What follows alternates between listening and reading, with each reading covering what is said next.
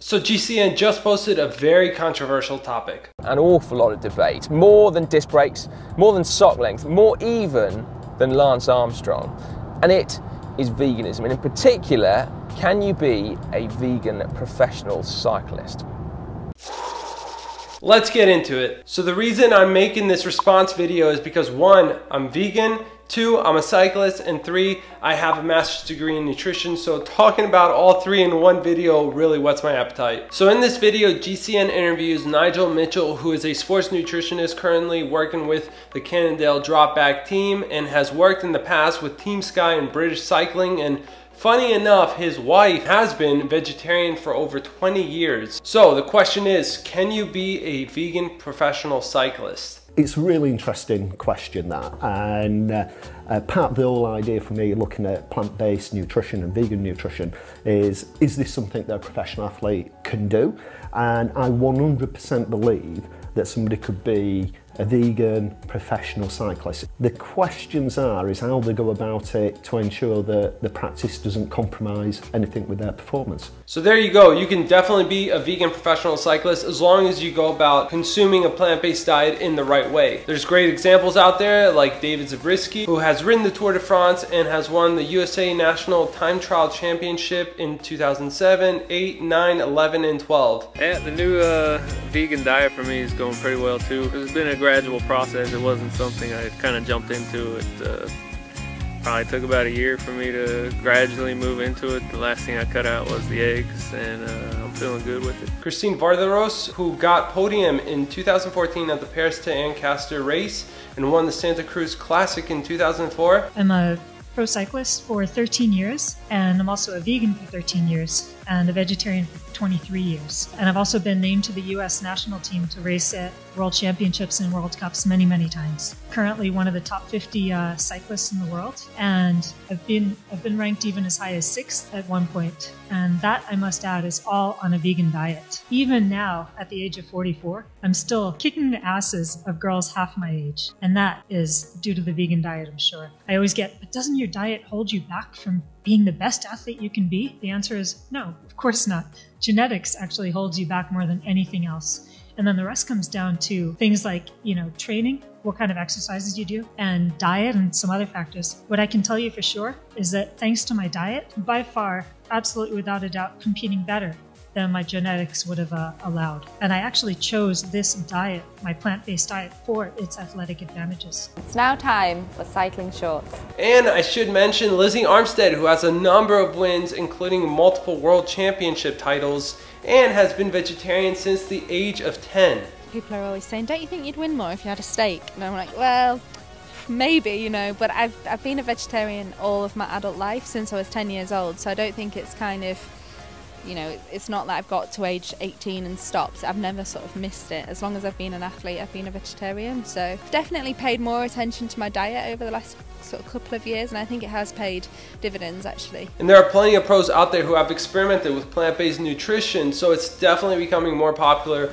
amongst the pro peloton. Next, they talk about protein intake on a vegan diet and whether you can consume quality protein to keep up the performance. With protein, we've got these amino acids, the building blocks, and what we have is we've got the different amino acids, and some of these are what we call essential. In other words, we need to get these from the diet and then the rest of them, the body converts some of the others into the other amino acids.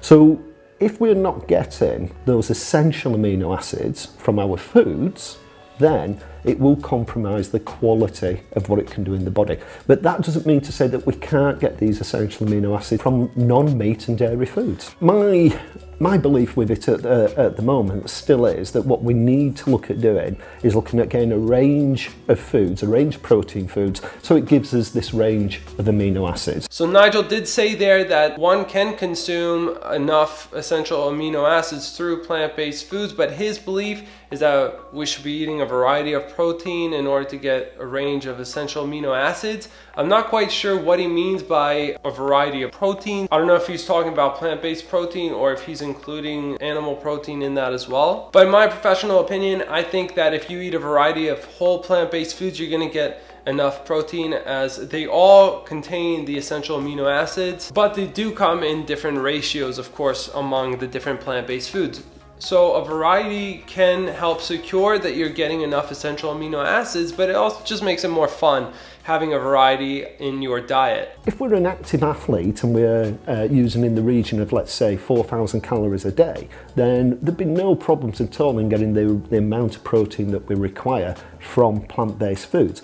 So I, I believe fully that somebody, if somebody wants to be a professional cyclist, the challenge isn't around getting the foods, the challenge will be is when they're away at races, being able to maintain that or when they're travelling. But I would say that there is certain supplements that I would also suggest that your, uh, your vegan cyclist would, would consider taking. But these would be probably the same sort of products that I'd get somebody to consider who's not a vegan as well. I get that it can be challenging for pros when they're away for races or traveling internationally, but these days most teams tend to have catering and are able to provide cyclists with pretty much anything they want. Most of the carbohydrates that they require in order to get them through a race are vegan by default anyway, as long as they don't have animal products added to their rice, their potatoes, their pasta, etc. So I don't see how that can be a problem, but I do see how it can be challenging for sure. Now I do think that the supplementation, as he mentioned, can be helpful. Now, this doesn't apply for everyday riders like you and me. I don't think supplementation is that important, but for pros who require so much more nutrition, who put their bodies through so much stress, and also want to stay as light as possible throughout the day so they don't have all that food in their stomach bouncing around, I think supplementation can be a good idea. And also some processed foods as well that are not going to be as high in fiber as whole foods are going to be. That way they can get more calories into their system without having that much bulk. I know it sounds funny and it doesn't apply to general nutrition terms, but for cyclists, for athletes who burn so many calories and have to have that energy source in them taking up as little space as possible inside their system, it's really important. And this idea with supplementation doesn't just apply to vegans. There are many non-vegan athletes who are on supplementation. I've never seen an athlete that I've worked with, whether it be professional cyclists, whether it be any sport, anybody that I feel has been compromised because they're not getting sufficient protein. Interesting. Nigel has never seen an athlete he's worked with being compromised from not getting enough protein. Seriously guys, getting enough protein is so easy on any diet, especially if protein supplements are involved. Don't get me wrong, I definitely think protein is important for so many reasons, but in the field of sports nutrition, I just think it's way overemphasized. And stepping outside of cycling for a minute, there are plenty of vegan athletes out there in pretty much every sport and are doing just fine keeping up with their protein intake. So protein is not a problem if you're eating a plant-based diet or any diet as long as you're eating enough calories. So can you be a pro-vegan cyclist? Hell yeah! As long as you can sustain five to six watts per kilo, that is. Damn it. So I will have the link to the full interview in the description below. GCN is going to be posting recipe videos soon with Nigel, which I'm really hoping they're going to be vegan recipes. So I hope you guys enjoyed this video. Hit the like button if you got something out of it. Subscribe for more videos on plant-based nutrition, fitness, and lifestyle tips. And I will see you guys in the next video.